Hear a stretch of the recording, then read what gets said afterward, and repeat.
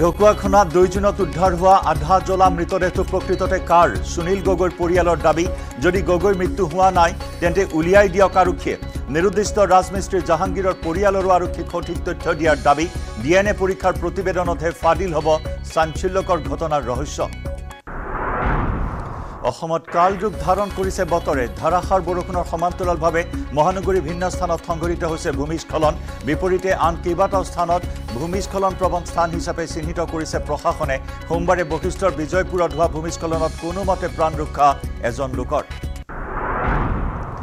আজিও বানমুক্ত নহ'ল গুৱাহাটী। বিফল প্ৰায় মিছন ফ্লাড ফ্ৰী গুৱাহাটীৰ বাবে কেইবা কোটি টকীয়া আঁচনি। ইখনৰ পিছত সিখন আঁচনিও বানমুক্ত কৰিব নোৱাৰিলে মহানগৰীৰ অনিল নগৰ নবীন নগৰকে ধৰি বহু অঞ্চল। এতিয়াও ছিকিমত আবদ্ধ হৈ আছে বহু পৰ্যটক। ছিকিমত উদ্ধাৰ অভিযান অব্যাহত আছে যদিও পাহাৰীয়া ৰাজ্যখনত বৰ্তমানেও আবদ্ধ হৈ আছে সহস্ৰাধিক পৰ্যটক। উদ্ধাৰ অভিযানৰ লগতে পথ মুকলি কৰাৰ চেষ্টা সীমান্ত পথ সংস্থাৰ ভূমিস্খলনৰ কবলত পৰি নজনৰ মৃত্যুৰ বিপৰীতে ক্ষতিগ্ৰস্ত শতাধিক পৰিয়াল। কেৰেলাৰ ৱাইনাড সমষ্টিৰ উপ নিৰ্বাচনত প্ৰতিদ্বন্দ্বিতা কৰিব প্ৰিয়ংকা গান্ধীয়ে। ছোনিয়া গান্ধীৰে হোৱা বৈঠকৰ পিছতে ঘোষণা এ আই চি চিৰ সভাপতি মল্লিকাৰ্জুন খাৰ্গেৰ ৰায়বেৰেলীৰ লগতে ৱাইনাড লোকসভা সমষ্টিটো জয়ী হৈছিল ৰাহুল গান্ধী। দুটাকৈ সমষ্টিত একেলগে জয়ী হোৱাৰ বাবে ৰাহুলে এৰি দিলে ৱাইনাড সমষ্টি। শিলিগুৰিৰ ৰেল দুৰ্ঘটনাত দুগৰাকী লোক পাইলটসহ নগৰাকীৰ মৃত্যু। আহত অৰ্ধ শতাধিক ৰেলযাত্ৰীক উদ্ধাৰ কৰি হাস্পতালত ভৰ্তি। ঘটনাস্থলী পৰিদৰ্শন কৰি ৰেল দুৰ্ঘটনাত তদন্ত ঘোষণা। কেন্দ্ৰীয় ৰেল মন্ত্ৰী অশ্বিনী বৈষ্ণৱৰ। শিলিগুৰিত ট্ৰেজেডিৰ পিছতে ঊনৈছখন যাত্ৰীবাহী ৰেল বাতিল। পবিত্ৰ ঈদৰ মাজতে চৌদি আৰবৰ মক্কাত অসমৰ চাৰি হজযাত্ৰীৰ মৃত্যু। মক্কাত অসমৰ হজযাত্ৰীৰ মৃত্যুৰ পিছতে কেন্দ্ৰীয় হজ কমিটিৰ বিৰুদ্ধে গাফিলতিৰ অভিযোগ উত্থাপন। উত্তৰ পূবৰ হজযাত্ৰীক গুৰুত্ব নিদিয়াৰ অভিযোগ ৰাজ্যিক হজ কমিটিৰ অধ্যক্ষ নেকিবুৰ জামানৰ।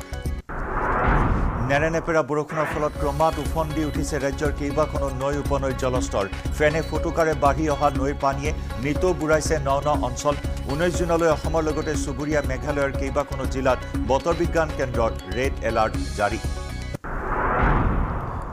অশান্ত মণিপুৰক লৈ কেন্দ্ৰীয় গৃহমন্ত্ৰী অমিত শ্বাহৰ উচ্চস্তৰীয় বৈঠক।